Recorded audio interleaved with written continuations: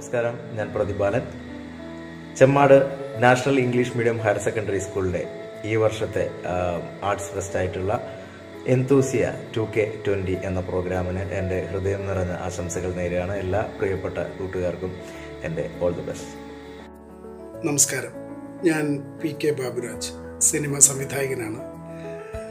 National English medium higher secondary school Chemmad ഈ വർഷം നടത്തുന്ന ആർട്സ് ഫെസ്റ്റ് എന്തൂസിയ ട്വന്റി ട്വന്റിക്ക് എന്റെ എല്ലാവിധ ഭാവുകങ്ങളും നേരുന്നു.